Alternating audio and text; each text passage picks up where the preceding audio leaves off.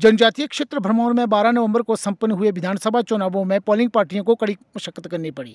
वैसे तो कई पोलिंग स्टेशन थे जहाँ पहुँचने के लिए पोलिंग पार्टियों को पसीना बहाना पड़ा, लेकिन एक ऐसा पोलिंग बूथ भी था जहाँ पहुँचने के लिए पोलिंग पार्टी को कई किलोमीटर का रास्ता भारी बर्फबारी के बीच तय करना पड़ा। बता दें कि एक दिन पहले ही यहाँ मतदान से पहले करीब आधा फुट बर्फ़ गिरी थी, लेकिन पोलिंग पार्टी ने इस बात की परवाह किए बिना वहाँ पहुँची और वहाँ करीब चार लोगों ने जो था वो मतदान भी किया। ये पोलिंग बूथ ग्राम पंचायत देवल का क्यूर पोलिंग बूथ है और इस गाँव में सर्दियों के जो छः महीने होते हैं, वहाँ लोग नहीं रहते हैं। लोग जो होते हैं वो सब स्थानांतरित तो होकर जिला कांगड़ा में चले जाते हैं और केवल गर्मियों में ही यहाँ के लोग जो हैं वो आते हैं। बहरहाल क्यूर पोलिंग बूथ पर मतदान सफलतापूर्वक करवा लिया गया है और यहाँ पहुँचने के लिए पोलिंग पार्टी को कड़ी मशक्क़त करनी पड़ी है।